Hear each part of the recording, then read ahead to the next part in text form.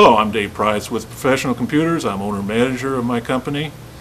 And I'm also uh, the guy that works one-on-one with customers as, as well as all of my technicians do.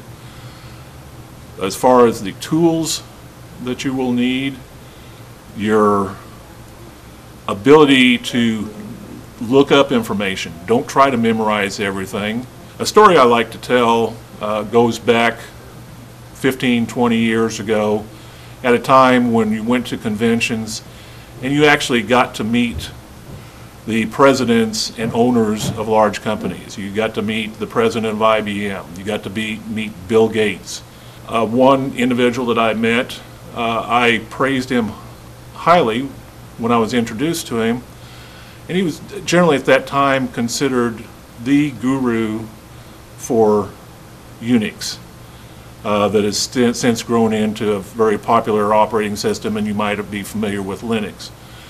But after praising him, he told me that actually I'm not that smart. I have my manuals organized better than anybody else. So your tools are the ability to catalog, build contacts, know where to look. You you can't be expected in this business to know everything.